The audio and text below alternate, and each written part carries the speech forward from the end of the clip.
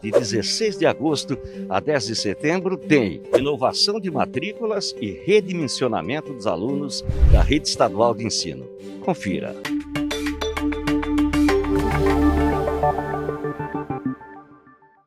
Inicia agora, segunda-feira, dia 16 do 8, a, a confirmação pelas famílias, pais e responsáveis para a rematrícula do ano letivo de 2022. Inicia agora, dia 16, segunda-feira, e nós vamos seguir esse movimento de renovação, de rematrícula, até o dia 10 do 9 de setembro, com essa confirmação dos pais, dos responsáveis sobre a permanência, a confirmação da permanência dos estudantes nas unidades escolares onde já estão matriculados. Esse processo, ele já é uma rotina na rede estadual de educação.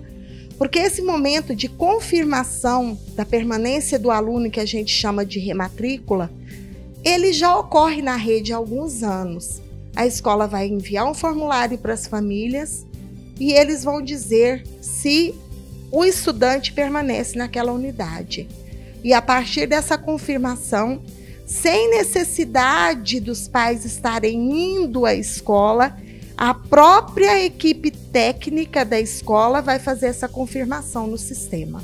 16 de agosto, segunda-feira, agora iniciamos o processo de rematrícula e vai até o dia 10 do mês 9, que é o mês de setembro de 2021.